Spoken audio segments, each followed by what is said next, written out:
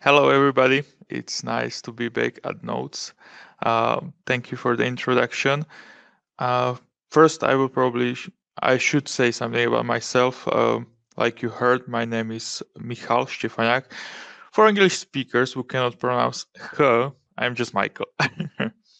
Uh, I am a software developer and IT consultant, and I have more than 15 years of experiences. I'm also certified Neo4j uh, professional, and I also received a Graphie Award for for uh, as a most valuable player in ecosystems.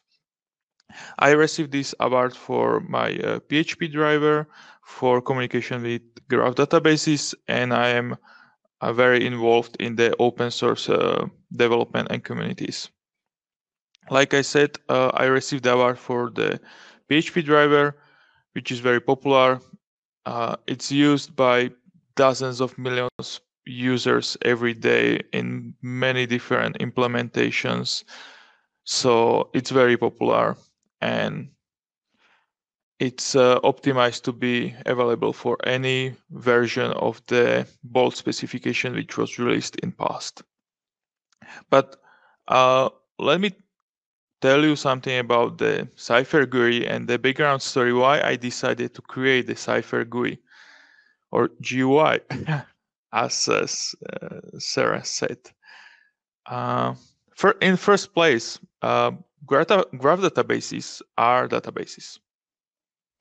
Many people think about the cool stuff like data science, uh, large language models, AI, and more these days. But first and and first it's primary a database. So for me the graph database is great tool to use with projects. It's really something which is unchallenging in the way how to store the data and the and the connection between the data. So i built multiple projects already with the neo4j database and that's also one of the reasons why i saw there is a gap on the market in some administration tool. So for example, I have made uh, this production planner for glass workshop. Uh, they are manually creating glass products, so they needed some tool to plan the production ahead so they can know when the products will be done. And there was no similar tool for this specific industry. So with the graph database, I created the whole structure of data, how they are stored and um, estimated for the future. Then I created an application for uh, managing the employee rights as an internal system for one company. So anybody from the company who wants to receive some right like access to internet or new monitor or something else they just put request here uh, then it goes through approvers and the manager of the right and everything is uh, fluently implemented and it's using the graph database in the backend. So you can use the graph database as database and the additional value of data science or research or something can be the next step when you already have the data. So because I'm from PHP environment, not only from PHP, because I have experiences from uh, web development, software development, uh, industry, automatization, manufacturing, and more, and also game development. uh, but one of my majors is the PHP. I'm very fond of this language, which really evolved in years. And because I came from this environment, I'm mm, familiar with this tool, and there are many people who are familiar with this tool. It's uh, administration for the MySQL. It was very simple. You can just uh, take the PHP file, copy the file to your hosting, and just run the website and access the database which was very comfortable because you don't have to install anything specific. You just copy a file and access the database. That was something what was what I was trying to achieve with my tool Cypher GUI. The next, what was my inspiration and also it's from the PHP environment or MySQL environment is the HeidiSQL. I really like the way how they show the data. What was really cool feature I was not able to implement in Cypher GUI was to editing the cells uh, directly. You can just edit the row by clicking to cell and change the value. But what is really cool when you open multiple tabs, uh, different data, queries, and other stuff, and you close the Heidi and then you reopen it, everything is back. So you don't have to really save or anything. You just close and reopen, and that's what I wanted to have in the Cypher GUI because it's really handy feature. So I knew these tools and I wanted to have something similar for the graph databases because I was working with the Neo4j like every day and I needed something simple, fast. And I know there is uh, there is a Neo4j browser, which is great tool for visualization of the data, but it has one disadvantage. You have to learn the Cypher query language, which can be a little bit problematic for people who wants to transition into this environment. And it's bigger problem in big companies because if the developers decide to start using the graph database, they also have to inform some uh, administrators and other people who will be working with it. And many times you have these uh, database administrators which are in SQL in relational database for 20 years. And they are not too prone to change into something new to learn something new. They are used to use the sql so now they have problem because somebody wants them to learn sql that can be obstacle on the way to transition into graph database so this tool is great, but I really saw the problem with learning the SQL. And the other problem, when you have the da- data stored in this uh, graph structure, it looks great for a presentation many times. Uh, but if you want to change a property of some node, you cannot do that easily. You have to write the Cypher query and change the data with on the specific node with specific ID or something. You have to really know what you are doing. You cannot just click on the node and change the value, which is problem for some people. And that means I had a list of what I want. I know I wanted some user-friendly interface, modern design, usable without SQL knowledge, continue where you left off. And also I wanted to add the SQL console for advanced users. But also I wanted the application to be easy to deploy as the PHP myadmin just copied some file. I wanted to be single page app, not relying on any backend technology. That was one of my most important decisions because I didn't want to be limited to some uh, environments with Node.js, PHP, Apache, or something else. I just wanted simple application which you can run, but you don't need to install or anything. And also I wanted to use the Bolt protocol. Uh, for people who doesn't know, Neo4j created a Bolt protocol specification. It's a protocol for communication with graph databases. Uh, it's uh, openly available so anybody who wants to can implement this protocol. So there are other uh, graph databases which are using this protocol. So my tool is also usable with any database which use this protocol and my target audience as i said was developers and administrators because i'm coming from this environment and i was seeing missing functionality in this environment. So I had to, I did some analysis, I did some thinking, and I always start with some uh, paper and pen or pencil. I'm old school, but it helps me to put together my thoughts. And I knew there are different kinds of databases. And what I wanted to achieve was to show or manage the data of graph database as a column family database or relational database. So that was a little bit tricky in first moment. So I took the uh, graph structure, and when I look and when I was looking at it, I realized the node labels can be a table name, the relational relational relationship sorry uh, relationship type can be also table name and the properties can be columns with values. That makes sense. That sounds easy. So uh, with this approach i created a tool which is called CypherGUI which looks like this. Uh, this is um, just login page, so, so, nothing interesting. But after you log in, uh, we are connected to database with the movies uh, dataset, which is available for import in uh, Neo4j. And when you connect, you immediately see some start page where you have all available labels and types.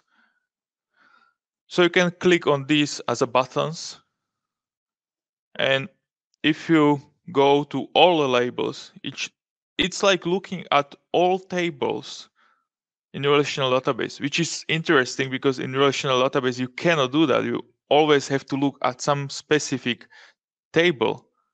In this case, if the label is table, we can look at all tables or labels at once. So it's all in one table. And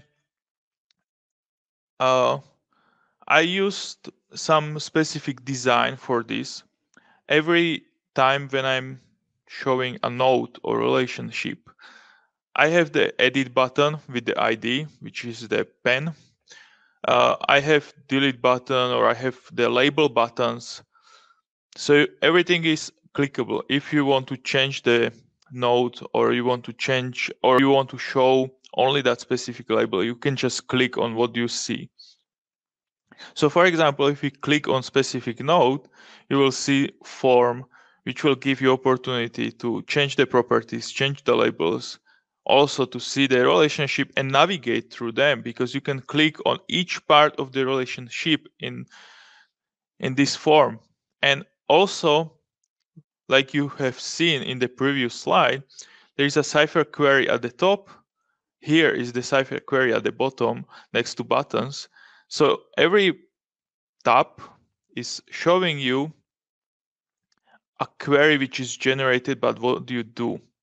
So this way you can also learn the Cipher query language, even if you are just clicking in the UI.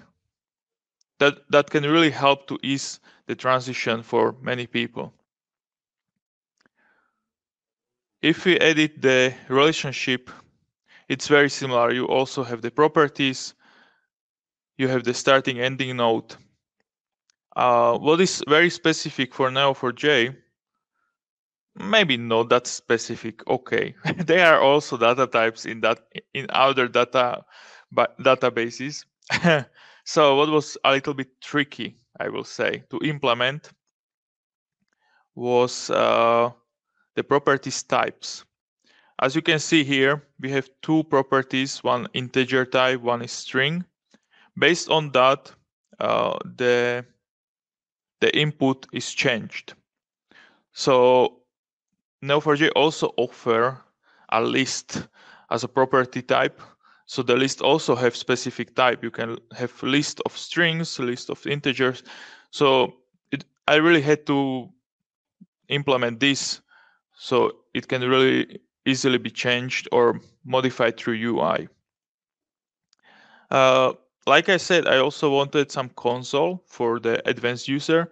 So you can click on the query button at the top right and it will open the typical uh, text area where you can write your queries. The result of the query can be shown in uh, three different types, table, JSON, and graph and also there is summary because each uh, query you run towards the database uh, generates a summary which will tell you some informations.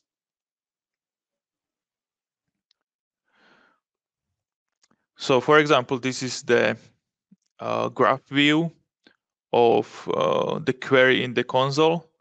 Uh, it's very really uh, modifiable. Modifiable. Oh, you can easily modify how it looks. Uh, just click on the labels or types on the right, and you can choose uh, the shape of the node. You can change which property, which key of properties is shown as a label. And last uh, feature I really like personally, it's a stash. It's uh, down here, as you can see here, the stash is closed. Uh, on this next slide, we can see the stash is open. And in this stash, you can add any node, relationship, or query. Uh, as you can see in one of previous slides, for example, here at the bottom, uh, there are buttons execute, reload, close, delete, and between them there is this folder with plus. It's the same here. So in many places where you are seeing a node or relationship, you can click on this button and the object is added to the stage. So you can easily access your favorite nodes or something.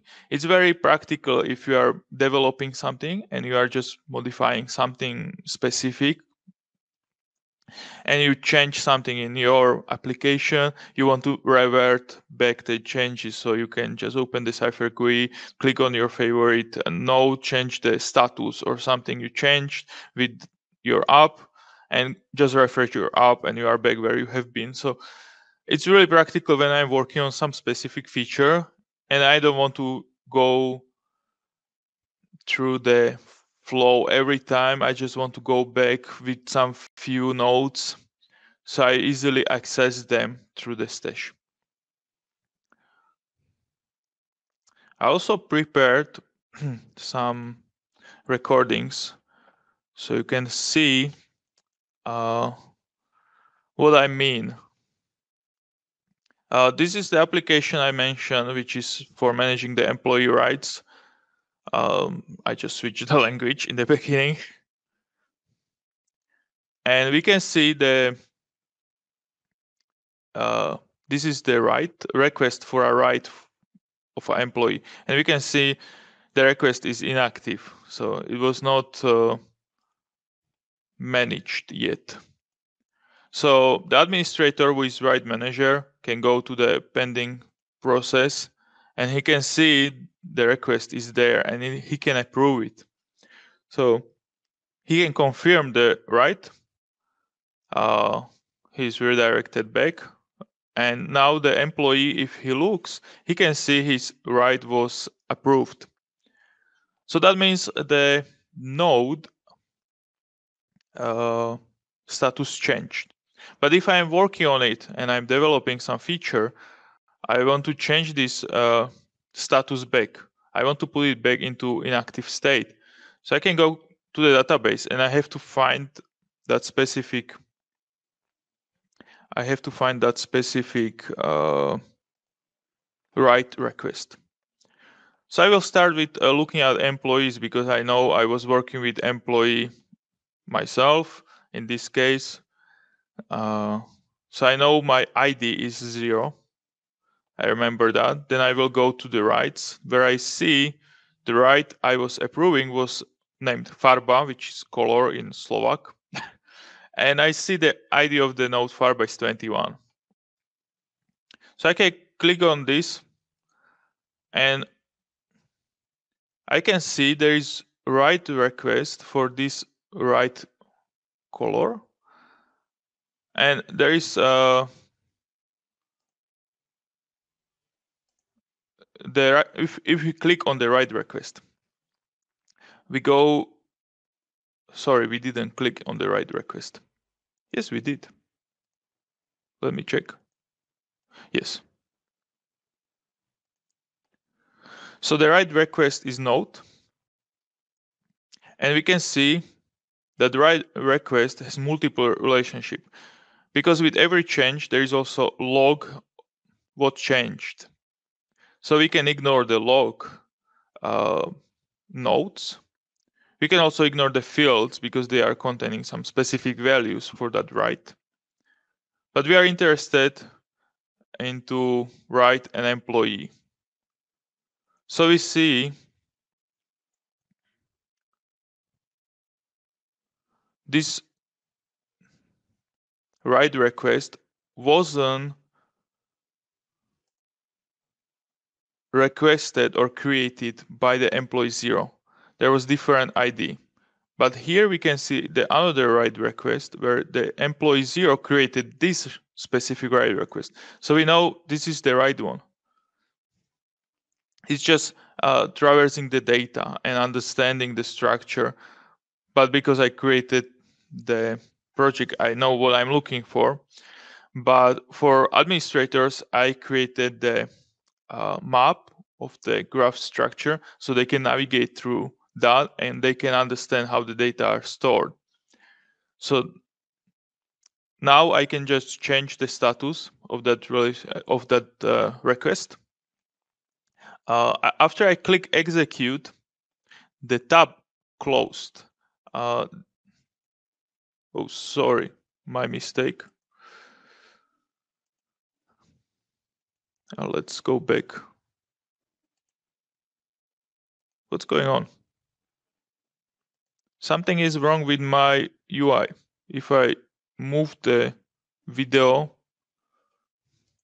I'm sorry, there is a mistake here. Okay, this is what I was looking for. Uh, when I clicked on execute, the tab closed. Uh, you can change that behavior in the settings, which is available in the corner.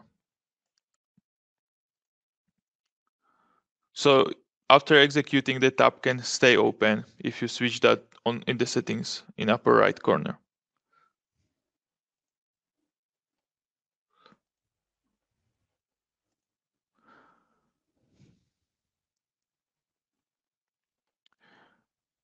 Here I'm showing you how to use the stash, which was very simple. I just click on the, uh, I just clicked on that folder button and it immediately showed behavior on the stash.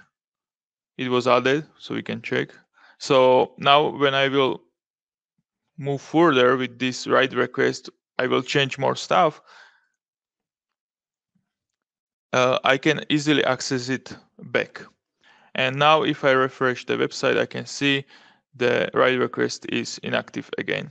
So this way in development time, I can really easily work with the data and I don't have to use any SQL as we can see. I just change the status of the right request without knowing anything about SQL. I just have to understand the graph structure, but that can be easily done with provided picture, like I mentioned. Uh, let me show you this other video.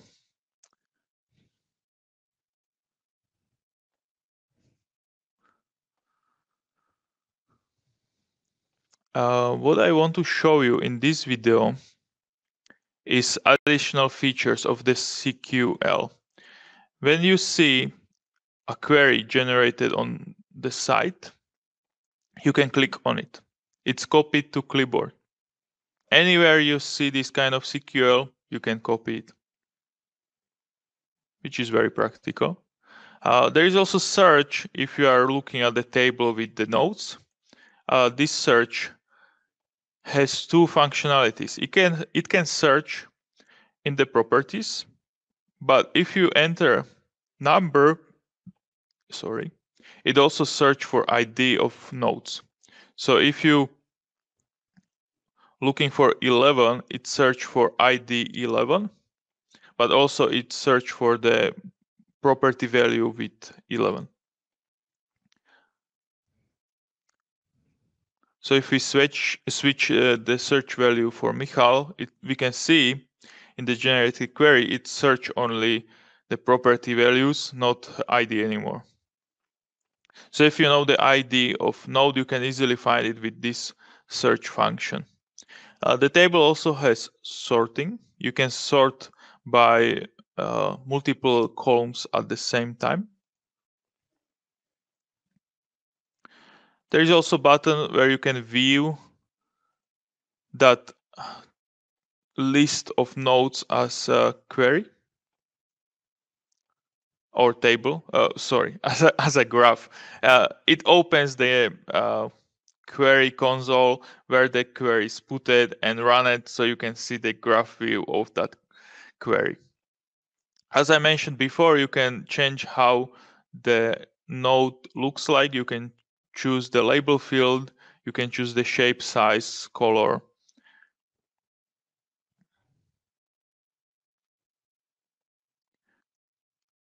If you go on specific node or click on it, it will also show you properties of that node on the right side, which is a little bit different behavior than Neo4j browser. In Neo4j browser, if you search for nodes, uh, it automatically also add into graph visualization the relationship between them, even if you didn't search for them. Uh, in my tool, if you are not searching for the relationships, they are not shown in the graph. I do not run additional query to search the relationships. So I will show you, I will just add the relationship and then we will see the full structure of the data with the relationships. So it's a little bit different behavior than the Neo4j browser. And here we can see if I click on the node, it will show the properties and it will show typically the edit button, stash and label buttons. So you can click on any of these and you can immediately jump into this requested place So as you can see, it's easy to navigate. Uh, the JSON view, I, am just showing you there is a copy button here. Uh, this copy button is mostly available in any input field you can find in the Cypher GUI. So even, even if you are in the form of editing relationship,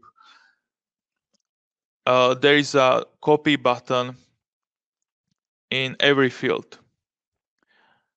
And if I'm showing a relationship or label or node in this table view, it's always shown in the typical buttons you are used to in the whole UI. So if you search for specific label value, it will show you only the value. So I'm very happy about this tool because it simplified the way I work with the graph database when I'm developing something. So it's really something what can ease the transition from relational database for many people.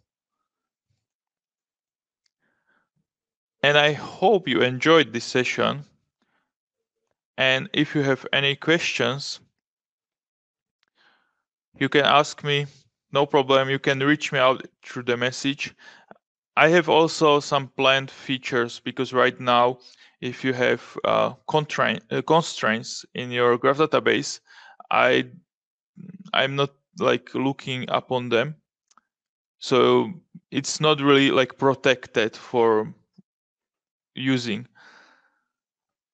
I don't have that much time to add this verification, but maybe in future, hopefully. So I see there is no questions. Sarah is thank saying thanks for joining. Yes, thank you so much for joining. Uh, thanks for your attention. It was nice to be here again at Nodes. Thank you, Neo4j, for doing this for everybody. And you can reach me out anywhere on these links. Have a nice day.